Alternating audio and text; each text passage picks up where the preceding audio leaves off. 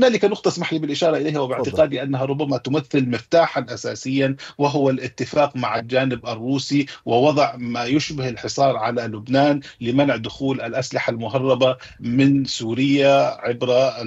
الحرس الثوري. حقيقة هنالك نقاش وحوار يتم الآن ما بين إسرائيل كما تتحدث المصادر الإعلامية ما بين إسرائيل وروسيا لترتيب هذه المسألة وأن هنالك عمليات سوف تستمر حتى لو حدث اتفاق في لبنان سوف تستمر خصوصا في الأراضي السورية لضرب أي قوافل تجارية أو قوافل عسكرية عفوا وأي طرق إمداد للسلاح يمكن أن تصل إلى حزب الله.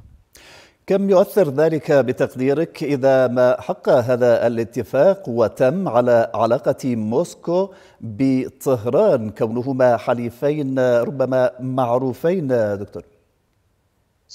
اولا لا أعتقد بأن بأن الحديث عن العلاقة الإيرانية الروسية هي علاقة تحالف. نعم هنالك علاقة تفاهم هنالك تعاون على أكثر من صعيد هنالك تعاون في ملفات معينة ولكن الحقيقة في كل السنوات الماضية على الأقل خلال السبع سنوات الماضية ومع كل الضربات التي تعرضت لها القواعد الإيرانية والشخصيات الإيرانية الموجودة في آه، سوريا كان على الأقل هنالك إخطار إسرائيلي للجانب الروسي وروسيا لم تفعل الكثير لحماية تلك المواقع والشخصيات الموجودة داخل سوريا خصوصا أن روسيا يفترض أنها تمتلك قوة جوية ضاربة موجودة في سوريا ويفترض ان تمتلك دفاعات جوية. ولكن العلاقة الروسية الإيرانية تقف عند حدود معينة خصوصا فيما يتعلق بالملف السوري وخصوصا أيضا فيما يتعلق بالصراع ما بين إيران وإسرائيل، لذلك لا أعتقد أن هنالك تأثيرات مباشرة لأن هنالك تفهم إلى حد ما من قبل الجانب الإيراني لطبيعة العلاقة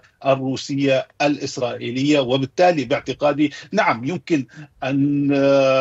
تعمد موسكو إلى اتخاذ بعض الإجراءات لمواجهة الجانب الإسرائيلي. لكن هذه لن تكون كافية ووافية بالنسبة للوجود الإيراني في سوريا الذي سوف يبقى مستهدفا من قبل الجانب الإسرائيلي وباعتقادي أن ما رأيناه على امتداد الشهور الماضية حيث ازدادت الهجمات الإسرائيلية سوف يستمر خلال الفترة القادمة بل ربما يتكثف أكثر وأكثر في حال وجود اتفاق مع ما بين لبنان وإسرائيل.